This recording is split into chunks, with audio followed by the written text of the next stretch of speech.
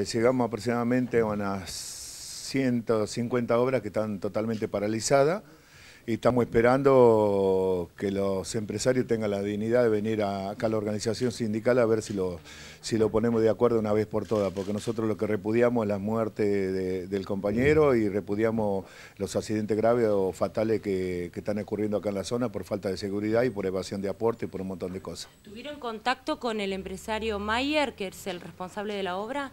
No, no, no, no. No, para nada, ni siquiera llamó, ni siquiera eh, habló con la familia, desapareció, desapareció de la zona, eh, no, no lo llamaron nunca a nosotros, así que bueno, nosotros estamos esperando no solo a él, sino también a las pymes, a las cámaras, eh, que vengan acá los responsables, donde vamos a debatir este tema de, de este accidente fatal que hubo. ¿Con Ministerio de Trabajo tuvieron contacto?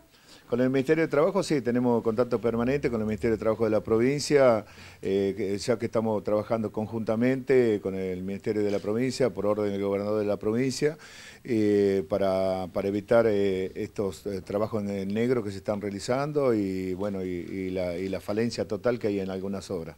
¿Van a continuar con esta medida de fuerza? ¿Tienen algún plazo previsto?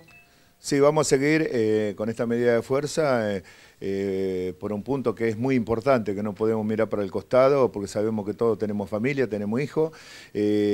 Esta medida de fuerza va a continuar y también vamos, estamos pidiendo, no es que vamos, estamos pidiendo justicia para, por la muerte de este compañero.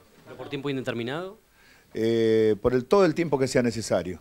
Acá la única manera que se va a levantar esta, esta medida de fuerza, eh, en primer lugar, eh, bueno, pidiendo justicia para, para, la familia del compañero y en segundo lugar es para que las empresas vengan a, discutir con nosotros acá un plan de trabajo que para que se haga acá en la, en la, región, en la zona.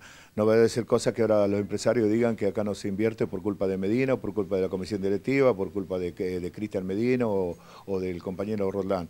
Acá nosotros estamos dispuestos a, firmar, si es necesario, un acuerdo de paz social y laboral para que, para que la inversión venga, venga y para que se siga construyendo como, eh, como se venía construyendo acá en la Ciudad de La Plata, pero no en estas condiciones, en esta forma.